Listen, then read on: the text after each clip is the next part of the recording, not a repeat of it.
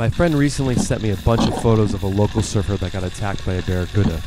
We are always getting asked about predators of the sea, so I'm going to put to rest are barracudas the terrorists of the sea? We are on the island of Lombok, and the surfer in question was at a spot that is both great for surf and great for diving. I was shocked to see the photos, as it's completely outside my experience. I've known barracuda to be inquisitive, beautiful, and pretty tasty if prepared properly. They aren't my number one fish to eat, but it is pretty amazing to just sit and watch them watch you.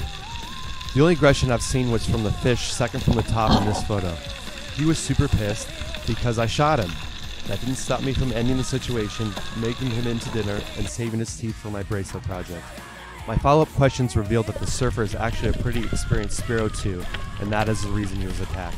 So for me, I think it's safe to say that they aren't going to attack me unless I attack first, and they aren't terrorists of the sea.